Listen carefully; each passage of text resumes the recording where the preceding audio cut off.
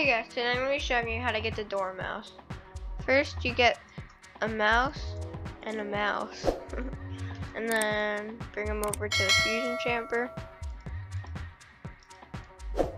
And that's how you get the Dormouse. That's how it looks.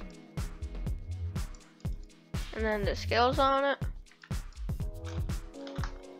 Alright, 18 gold per second and 52 selling value. And then the skills on it.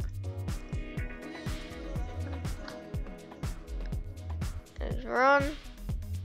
That's how it looks again. Thank you guys for watching. Please like and subscribe. See you next video.